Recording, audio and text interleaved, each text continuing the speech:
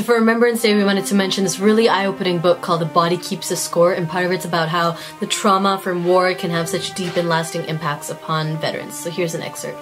After about three months in country, Tom led his squad on a foot patrol through a rice paddy just before sunset. Suddenly, a hail of gunfire spurted from the green wall of the surrounding jungle, hitting the men around him one by one. Tom told me how he had looked on in helpless horror as all the members of his platoon were killed or wounded in a matter of seconds. He would never get one image out of his mind, the back of Alex's head as he lay face down in the rice paddy, feet in the air. Tom wept as he recalled, he was the only real friend I ever had. Afterward at night, Tom continued to hear the screams of his men and to see their bodies falling into the water.